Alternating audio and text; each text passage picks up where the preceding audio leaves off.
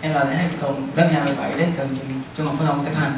À, hôm nay em sẽ trình bày về ngành nghề mà em yêu thích, đó chính là ngành nghề tài chính ngân hàng. Và ngân hàng là gì? Ngân hàng là một tổ chức tài chính à, và thông qua đó trung gian chấp nhận tiền gửi và định kênh tiền gửi đó hoặc các hoạt động cho vay và à, cho vay trực tiếp hoặc là gián tiếp thông qua các thị trường vốn ngân hàng là kết nối giữa người à, có thâm hụt vốn và người có số dư vốn à, chúng ta cần những yếu tố gì để có thể chuẩn bị cho ngành này?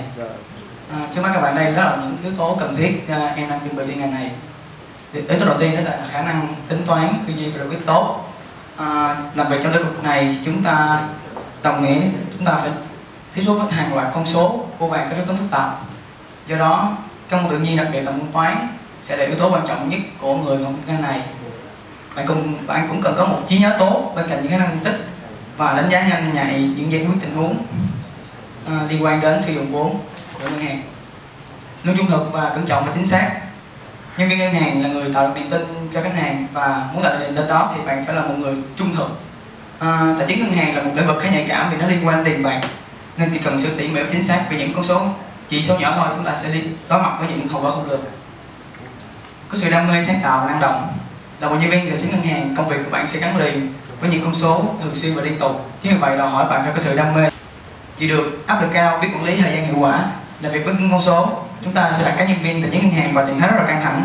Vì vậy, chúng ta cần một sức khỏe khớp rất là tốt. Chúng ta cần phải sắp xếp thời gian hợp lý để hoàn thành đúng tiến độ và không có bị mất sức lực qua những thời gian một cách vô ích. Khi ra trường chúng ta sẽ làm gì? Khi tốt nghiệp ngành tài chính ngân hàng, các bạn có thể đảm nhận một số vị trí như là chuyên viên tín dụng ngân hàng chuyên viên kế toán kiểm toán chuyên viên kinh doanh tiền tệ. Đó là một số hoặc là giảng viên ngành tài chính ngân hàng. Học ở ngành tài chính ngân hàng việc sẽ làm việc ở đâu ngân hàng thương mại công ty tài chính công ty kiểm toán à, cục thuế hoặc là hải quan. Công ty à, còn làm đào, à, còn có công tác tại một số trường đại học và cao đẳng ở tại à, giảng viên. Cơ hội nghề nghiệp để có để bắt mắt được cơ hội nghề nghiệp các bạn phải chọn ngành kinh tế. Ở một số trường đại học uy tín, đào tạo như là đại học ngoại thương, đại học kinh tế, đại học ngân hàng và đại học kinh tế thành, đại học công nghệ hồ chí minh. Tất cả ngành sẽ có mũi go, vì vậy ngành ngân hàng cũng không phải là ngoại lệ bạn là một cán bộ kiểm ngân.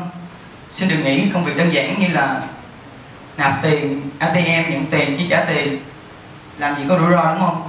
Nhưng mà không phải như vậy, đừng làm tưởng như vậy hãy thử nghĩ thống kê và rủi ro như là sẽ gặp tiền giả. Ví dụ tờ 100 đô giả thôi các bạn sẽ mất đi nửa tháng lương. Rủi ro cũng đồng hành với hoạt động của ngân hàng. Ngành này có rất là nhiều rủi ro rất là cao tuy nhiên đó chính là nghệ thuật của ngành tài chính ngân hàng. Nếu không có rủi ro ngành sẽ không tồn tại. Nhưng tôi tin với bản lĩnh sự tinh thông nghề nghiệp tuân thủ các chuẩn mực về đạo đức có tâm với nghề cộng thêm yếu tố may mắn sẽ giúp chúng ta thành công trong công việc này. Dạ, cảm ơn thầy cô và các bạn nghe chứ uh, ban giám khảo thì chưa nghe được em nói về cái khát khao của em về cái những cái động lực mà em sẽ phải làm như thế nào. Thành ra là bây giờ cái phần hỏi cho em nó sẽ hơi nhiều. Nó nó hơi hơi hơi sâu một tí. Bây giờ giả sử em làm trong lĩnh vực tài chính ngân hàng à, có một uh, bình thường thì em làm em toàn nhận những cái gói gửi tiền là khoảng một hai ba tỷ gì thôi. Thì khách hàng đó là thuộc dạng là khách hàng vừa phải nhưng mà đùng một cái có người tới gửi khoảng chừng gần một ngàn tỷ cho em và đúng là trở thành khách hàng VIP đúng không? Thì ngân hàng mình nó có những cái ờ, ưu đãi cho khách hàng VIP. Ví dụ như đôi khi khách hàng VIP là phải có người chăm sóc và phải có thể là họ được giải quyết từ xa chứ họ mới gặp mặt. Vậy một lần nào đó khách hàng VIP sẽ gọi điện cho em nói là chuyển giùm tôi hoặc là có người khác tới nhận khoảng à, vài chục tỷ. À, và đây là giọng của tôi đây là số điện thoại của tôi. Vậy à, trong cái quy chế của ngân hàng thì không có ghi rõ là được uh, phép như vậy hay không nhưng mà cũng không cấm với khách hàng VIP vậy em có chấp nhận cái chuyện là chuyển cho người ta hay không? Nếu không thì khách hàng VIP đó có thể rút khoảng một ngàn tỷ đó đi gửi ngân hàng khác. Đối thủ của em. À, theo trường hợp này thì em sẽ ờ, cần một em sẽ liên lạc và em sẽ tới tới tận nhà của khách hàng để lúc này khách hàng đang ở nước ngoài. Đang ở nước ngoài.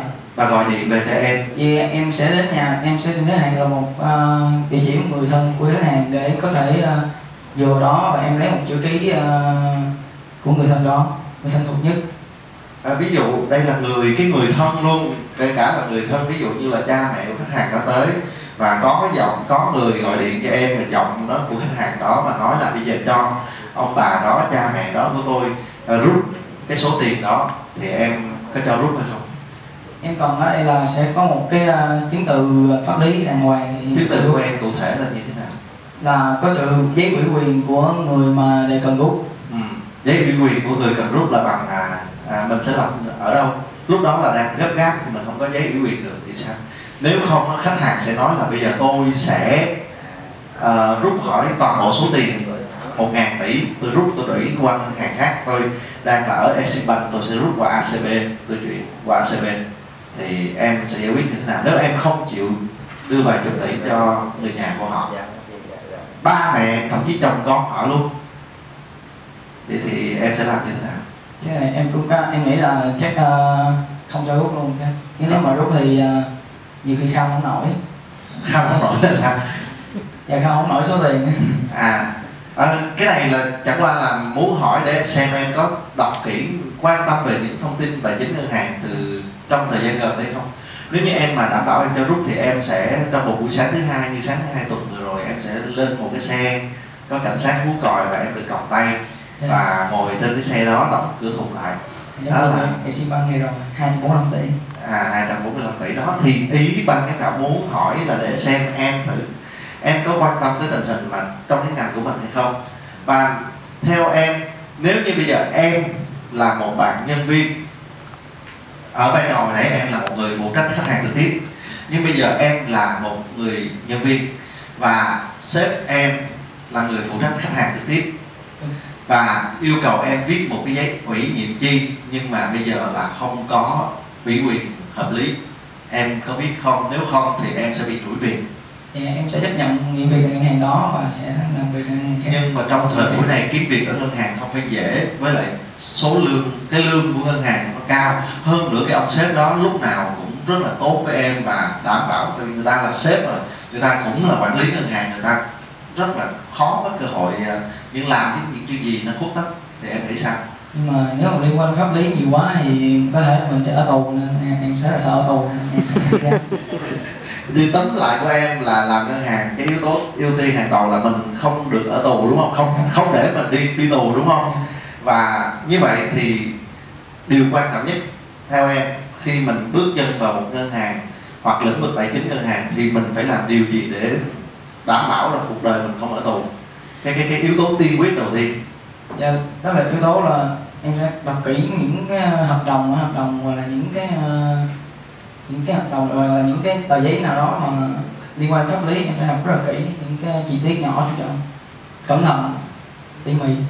Và bây giờ đặt thêm một tình huống nữa đây ờ, tại vì bạn là bạn nam đầu tiên muốn thử cái sự cứng của bạn như thế nào ha? À, bạn nếu như bây giờ đi ngân hàng nào bạn cũng sẽ gặp cái trường hợp như vậy có nghĩa là có những quy định. Nhưng mà sếp thì luôn luôn bảo nhân viên là cứ làm đi, tôi đảm bảo cho. Tôi chịu, có gì tôi chịu. Thì bất kể ngân hàng nào bạn cũng gặp. Vậy thì cuối cùng giải pháp nghề nghiệp cho tương lai của bạn là sao? Không có chỗ nào, hầu như tại vì ngân hàng nào cũng phải chạy đua với nhau.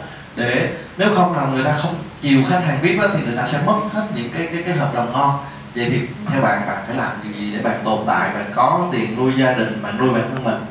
Tại vì đã đã theo ngành hàng là sẽ là ngành kinh tế nên em sẽ để hướng tiếp tục theo ngành kiểm toán. À qua kiểm toán không làm phụ trách ngân hàng nữa. Thế là kinh tế là có nhiều cái hướng đi. À, kiểm toán cụ thể thì bạn sẽ làm những cái mảng nào? Bạn đã nghiên cứu chưa? Kiểm toán uh, thì nói chung là nó liên quan đến kinh tế nên em sẽ đi kiểm toán. À, ví dụ như trong vai trò kiểm toán ở trong uh, các cái công ty các tập đoàn thì mình sẽ làm cái công việc cụ thể là như thế nào? Em uh... là kiểm toán sổ sách cuối năm uh, về những cái để, để uh, mình ký vô để cho những bộ phận thẩm quyền ta kiểm tra như thế đó. À rồi. À, chắc là cũng đủ để hình dung ra cái ước mơ và cũng suy nghĩ của bạn. Chỉ có một gợi ý là lần sau mình hãy nói vào trọng tâm của mình không có mô tả nó chung như vậy. Tại vì cái nội dung bạn nói thì nãy giờ